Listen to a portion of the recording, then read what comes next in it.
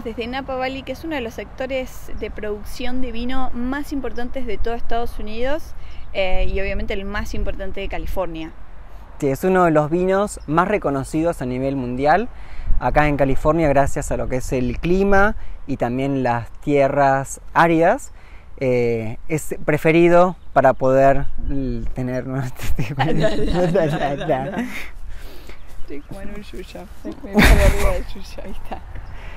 Es una de las áreas donde se hace la mejor producción eh, vitivinícola de acá de California. Sí, la verdad que es un lugar súper lindo para recorrer. Eh, hace calor generalmente, ahora estamos en verano, o sea que hace eh, más calor que, en el resto del año. así que vamos a ver, vamos a recorrer un poco de Napa Valley, vamos a recorrer diferentes eh, wineries que se ubican acá, que hay un montón. Así que hicimos como una selección de las que nos parecieron las mejores y vamos a ver qué tal adentro. Dale, vamos a conocer entonces.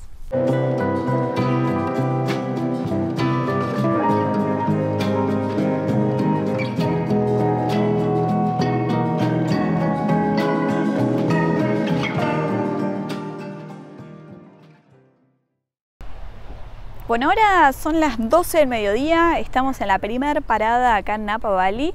Paramos en Mum Napa. Eh, esta es una empresa que está establecida acá desde, mil años, desde el año 1970.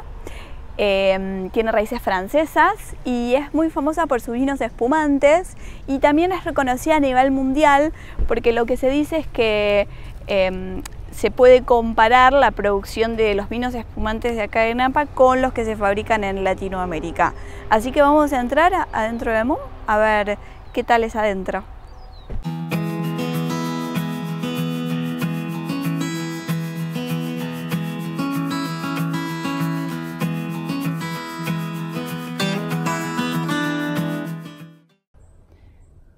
Este video nos sigue acompañando Celia, ella es mi mamá, ya la vieron en el video de Yosemite. Sí, así que Gastón maneja y con Celia vamos a tomar unos vamos A ¿Qué te parece, Celia? Más bien. Más bien, para eso vinimos. Por eso también tenemos hacer el aguante.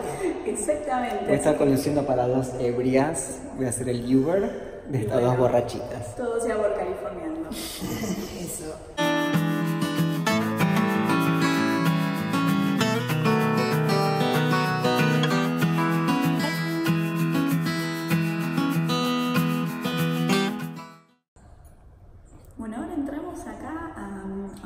De arte que está en el establecimiento de la, del viñedo de Napa, de Mum. De Mum. Eh, ellos tienen una, sección donde se puede hacer un tasting de, de, todo de toda la, producción y las cosechas de ellos, de los vinos y los espumantes. Y también tienen esta galería que, por lo que estamos viendo, no tiene mucho que ver con Napa. Tiene mucho que ver con Napa porque es como una galería de...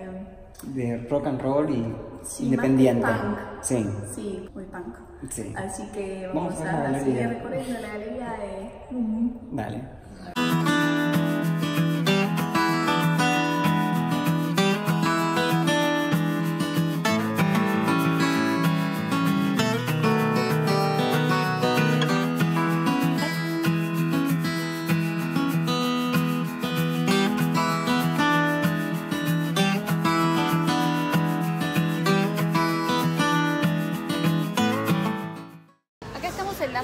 Parada de vinerías en Satuy.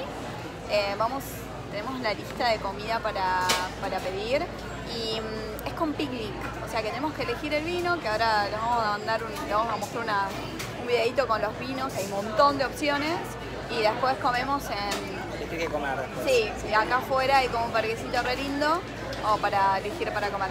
Así que vamos a elegir qué comer porque ya son las Ah, son la una, así que tenemos que elegir algo pronto. Para no tomar algo, no comer, no tomar después con la pancita vacía. Claro. Vamos a buscar. Dale.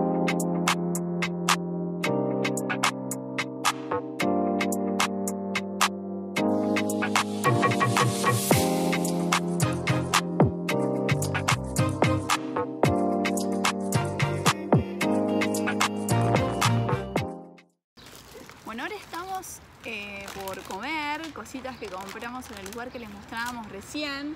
Compramos unos sanguchitos, unas, Unas uvitas y un vino. obvio, compramos vino. Esto es un, un rosato.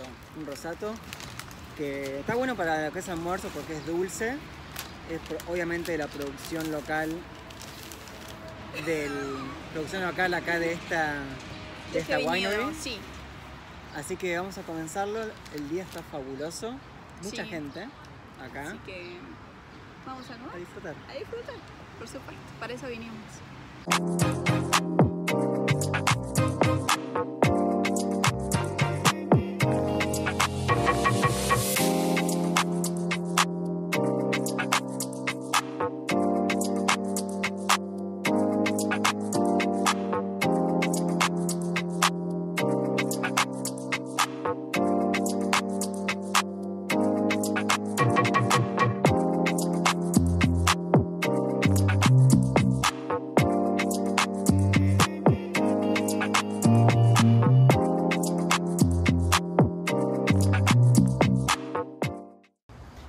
Recién terminamos ya de hacer el picnic, en, que es un área eh, destinada para poder comprar eh, todos los productos por separado.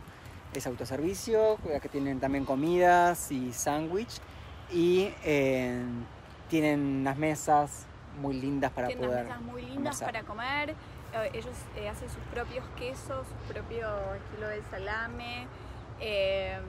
Y la verdad que hemos comido muy bien y ahora estamos haciendo una recorrida por los viñedos.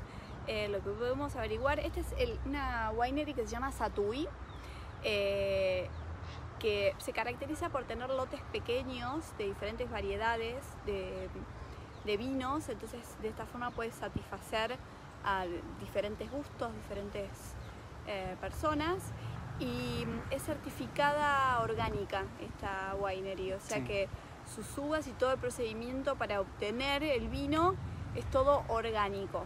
Eh, hemos probado un vino rosado y la verdad que estuvo muy, muy rico. Eh, así que bueno, seguimos recorriendo vinerías. Vamos a ver qué nos depara. ¿Qué sigue? Dale, allá vamos.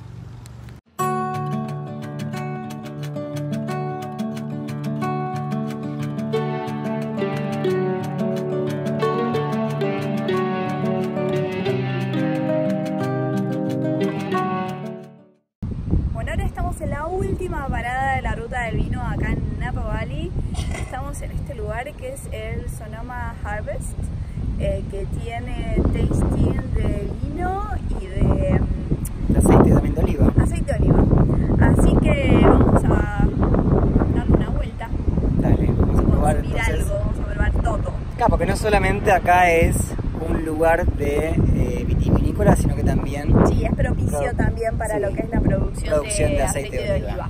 Así que vamos a recorrer un poco adentro.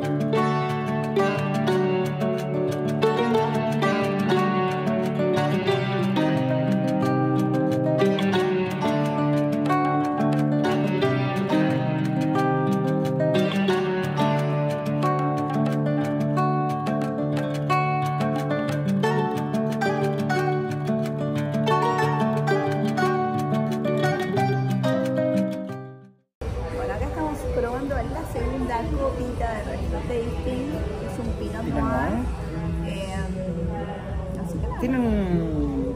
Es similar al de Argentina, pero es a su vez diferente. Este es un poco mucho más suave que los varietales de No tengo Argentina. mucha cultura yo te confío en tu palabra. Borracho, viejo borracho. No, es, eh, es muy rico, pero es más fuerte eh, el Argentina, Pinot Noir. Pero a su vez, creo que tiene bastante gustito rico. Sí, así que bueno, seguimos. Nos queda una copa más. No, nos quedan dos copas. Dos copas, ¿no? Sí, son cuatro copas. Bueno, Bueno, veremos cómo terminamos. y pedimos un Uber.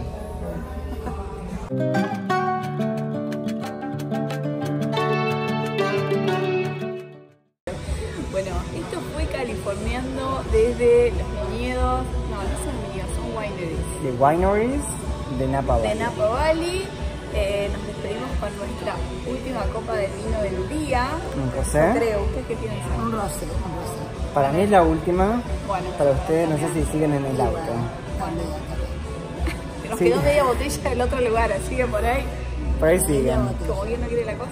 Si te gustó nuestro video, dale like, comentanos. Sí, y si querés suscribirte sería buenísimo. La verdad que solamente a- apretar el botoncito para suscribirse y podés tener notificación de todos los videos que vamos subiendo. Pero por lo pronto nos vemos en el próximo video de Californiando. Dale. Y chau Celia. Yo, chau, chau, sí. Buen viaje. Buen viaje. Hasta la próxima chicos. Hasta la próxima. Es un video, ¿eh?